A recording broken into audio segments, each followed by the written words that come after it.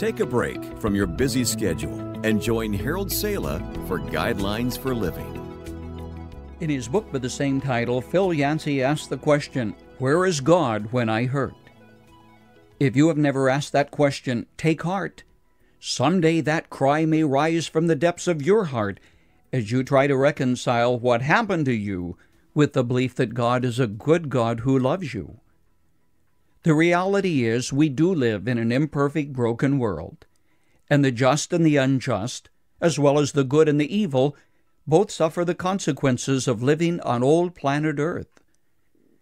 One of the toughest assignments you will ever face is holding on to what you know is true when your emotions tell you to turn loose because it just isn't so. Have you ever taken time to notice some of the pictures which God gives in Scripture which graphically depict His care for you? Those of a father who carries his young, or a shepherd who gently lifts the lamb to his shoulders and carries him across a raging stream, and an eagle who gently carries his young. Let's start with the father who carries his child, even as God, on occasion, carries us through the dark hour. As Moses was coming to the end of his life, he knew he had to prepare God's people for what was ahead. He reminded them of the time he had sent the twelve spies into the land, and they came back with reports of great difficulty ahead. Where can we go? they cried, adding, Our brothers have made us lose heart.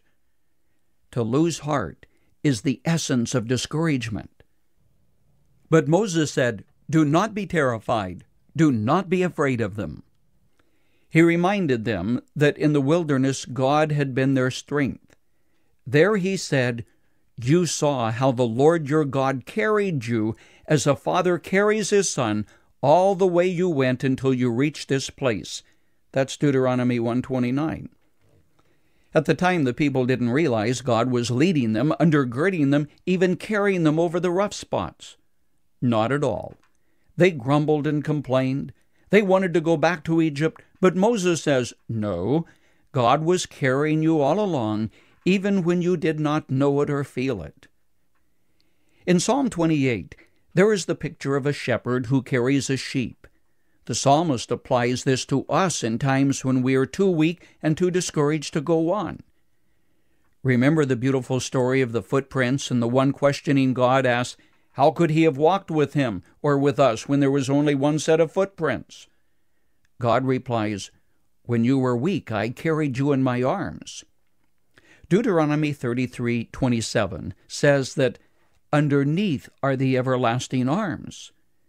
Something which often comforts me as a plane bounces with turbulence some 35,000 feet in altitude.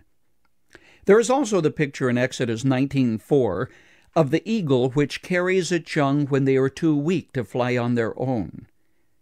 Ah, but you may say, these are but pictures.